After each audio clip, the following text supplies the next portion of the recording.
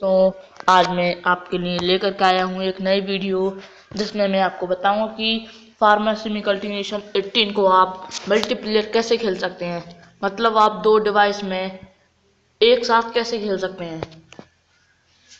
उसके लिए आपको एक डिवाइस का ब्लूटूथ और हॉटस्पॉट ऑन करना पड़ेगा और फार्मेसी में 18 को ऑन करना पड़ेगा। उसके बाद आपको दूसरी डिवाइस को लेना है और उसकी वाईफाई तथा ब्लूटूथ को ऑन करना है। इस तरह से जैसे आप, मैं आपको बता रहा हूँ।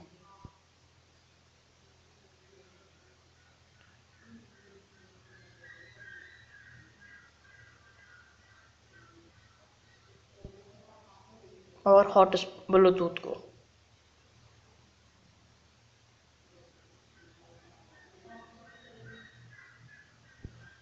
उसके बाद आपको कुछ देर तक इंतज़ार करना है।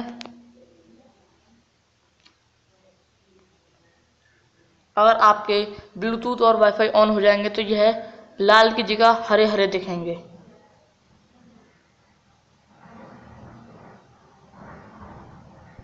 ये देखिए, ये आ गया रेडमी अब आपको इस पर क्लिक करना है।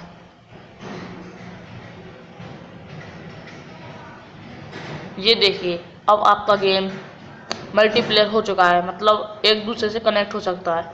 अब आप उसके में दिखेंगे और उसका आप, आपके मोबाइल में दिखेगा। ये देखिए दोस्तों, एक बात जान लीजिए कि मैं कोई भी वीडियो फेक नहीं बनाता। अगर मैं अपनी वीडियो को फेक बनाता तो मैं ऐसे यूट्यूब पर नहीं डालता। आपसे गुजारिश है कि आप मेरी वीडियो को लाइक करें साथ ही साथ सब्सक्राइब भी करें। आज के लिए बस इतना ही। अब मिलेंगे मेरी अगली वीडियो में।